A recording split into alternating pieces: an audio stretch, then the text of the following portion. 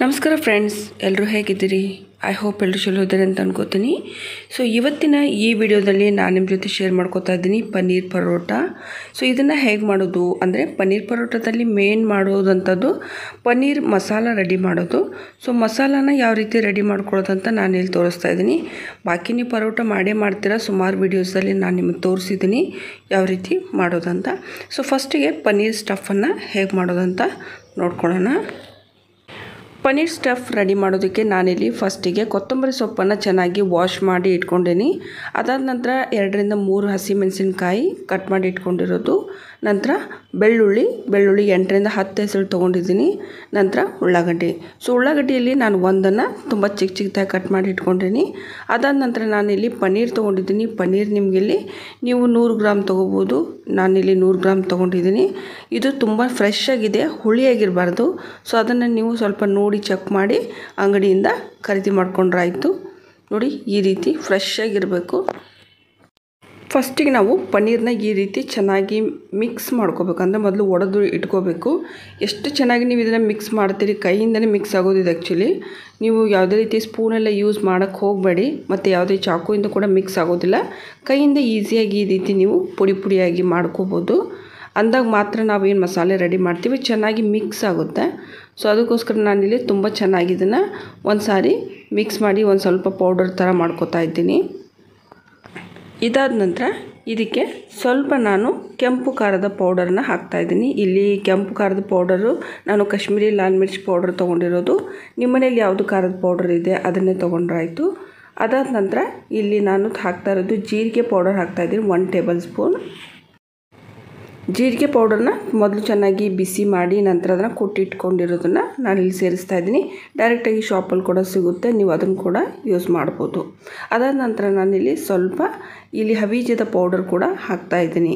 ನಾವಿಲ್ಲಿ ಮಸಾಲೆ ರೆಡಿ ಮಾಡ್ತಾ ಇದ್ದೀವಿ ಅಂದರೆ ಪನ್ನೀರ್ ಸ್ಟಫ್ ಸೊ ಇಲ್ಲಿ ಆಲ್ಮೋಸ್ಟ್ ನಾವು ಹವೀಜದ ಪೌಡರ್ ಕೂಡ ಯೂಸ್ ಮಾಡ್ತೀವಿ. ತುಂಬ ಚೆನ್ನಾಗಿರುತ್ತೆ.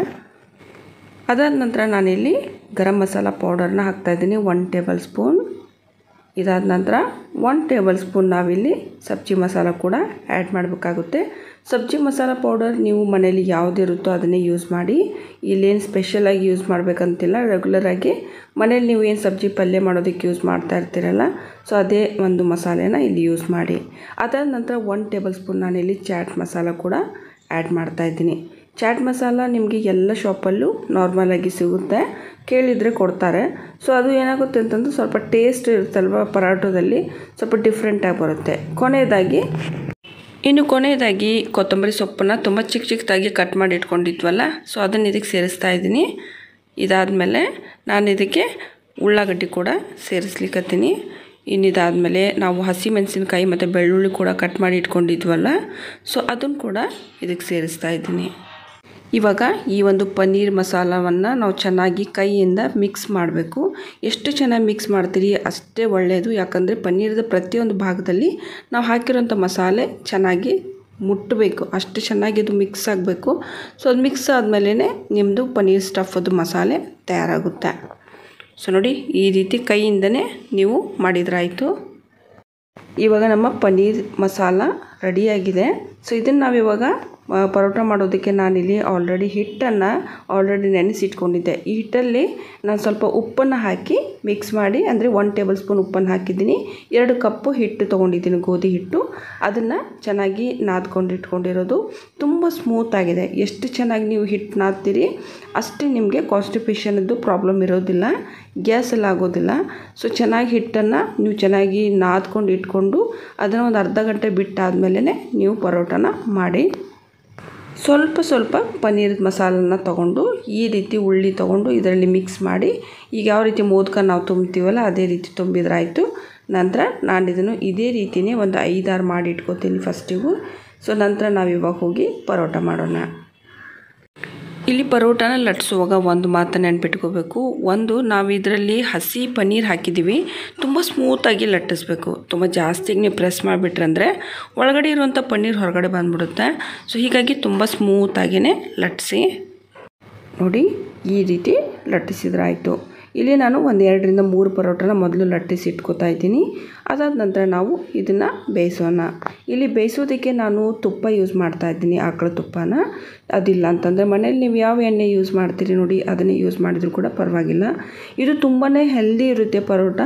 ಇದು ಏನಾಗುತ್ತೆ ಅಂತಂದರೆ ಮಕ್ಕಳಿಗೆ ನೀವೇನಾದರೂ ತೂಕ ಜಾಸ್ತಿ ಮಾಡಿಸ್ಬೇಕು ಅಂತ ಅಂದ್ಕೊಂಡಿದ್ರೆ ಅಥವಾ ನಿಮಗೂ ಕೂಡ ನೀವು ತೂಕ ಜಾಸ್ತಿ ಆಗಬೇಕು ಅಂತ ಅಂದ್ಕೊಂಡಿದ್ರೆ ಪನ್ನೀರ್ನ ಈ ರೀತಿ ಕೂಡ ನೀವು ಪರೋಟ ಮಾಡ್ಕೊಂಡು ತಿನ್ನೋದ್ರಿಂದ ನಿಮ್ಮ ವೇಟ್ ಜಾಸ್ತಿ ಆಗುತ್ತೆ.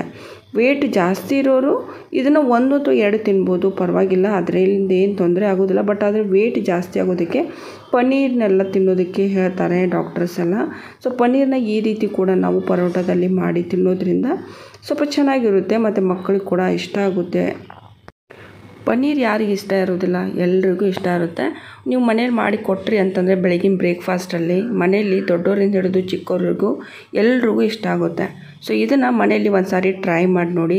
ನಿಮ್ಗೆ ಇಷ್ಟ ಆದರೆ ನನಗೆ ಕಮೆಂಟ್ ಮಾಡಿ ಹೇಳಿ. ನೋಡಿ, ಈ ರೀತಿ ಪನ್ನೀರದ ಮೇಲೆ ಕೆಂಪು ಕೆಂಪು ಚುಕ್ಕೆ ಕಾಣಿಸ್ಬೇಕು. ಸೊ ಆವಾಗಲೇ ಮಾತ್ರ ತುಂಬ ಚೆನ್ನಾಗಿ ಇದು ಬೆಂದಿದೆ ಅಂತ ಅರ್ಥ. ಸೊ ಇವಾಗ ನಮ್ಮ ಪನ್ನೀರ್ ಪರೋಟ ತಯಾರಾಗಿದೆ, ಬಿಸಿ ಬಿಸಿಯಾಗಿದೆ. ಇದನ್ನು ಖಂಡಿತವಾಗ್ಲೂ ಮನೇಲಿ ಮಾಡಿ, ಟೇಸ್ಟ್ ಮಾಡಿ ನಿಮ್ಗೆ ಇಷ್ಟ ಆದಲ್ಲಿ ನನ್ನ ಚಾನಲ್ಗೆ ಸಬ್ಸ್ಕ್ರೈಬ್ ಕೊಡಾಗಿ. ಮತ್ತು ವಿಡಿಯೋ ಸ್ವಲ್ಪ ಇಷ್ಟ ಆದರೆ ಪ್ಲೀಸ್ ವಿಡಿಯೋಗೊಂದು ಲೈಕ್ ಕೊಡೋದನ್ನು ಮರಿಬೇಡಿ.